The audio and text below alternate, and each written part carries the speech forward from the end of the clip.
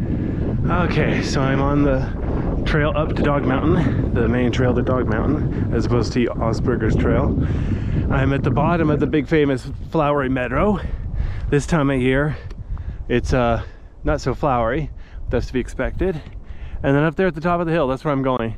That's the top of Dog Mountain, which any time of year has a beautiful view. There won't be any flowers today, but I'll settle for fog and the Columbia Gorge. Look at this, I'm facing the sun, hardly see anything. But if you hand down here, look at this. Columbia Gorge has low clouds. I mean, it's not fog. You can go down below those clouds. The people on the freeway, so on, they can see just fine. But yeah, over there, that's, um, oh shoot, I forgot the name of that. Um, I think that's Wind Mountain, not sure. Kind of cool how the clouds go over it just a little bit, but not entirely. Kind of cool. It's like an island floating in the clouds.